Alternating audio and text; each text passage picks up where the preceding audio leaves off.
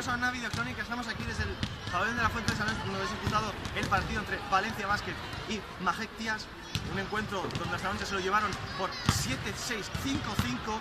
Un encuentro que empezó muy fuerte con un parcial creo que llegó a ser de 11 a 2 y a partir de ahí las jugadoras de Las Palmas, el equipo visitante, no pudieron llegar a ese resultado, llegar a empatar a los Taroncha y por lo tanto Valencia Basket Femenino suma su décima victoria consecutiva en esta Liga Femenina 2 y se coloca ya en segunda plaza.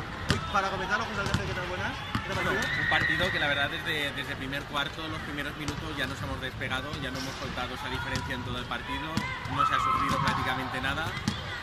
De nuevo la amplitud de banquillo, ellas eran ocho jugadoras y han jugado prácticamente seis, siete, no, no han jugado más.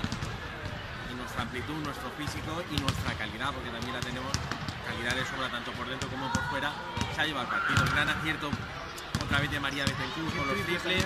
Dentro Mella Tirera que es, es una fiera, Importante también Isabela Ramona en el principio. Isabela, que ha robado una cantidad de balones brutal, y, y luego Rebeca, que, que grata sorpresa ver esa chica, los minutos que está jugando, todo lo que aporta tanto en ataque como en defensa, una maravilla.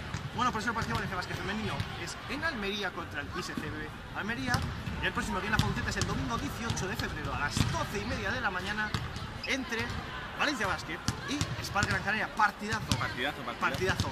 Nos vemos. Adiós.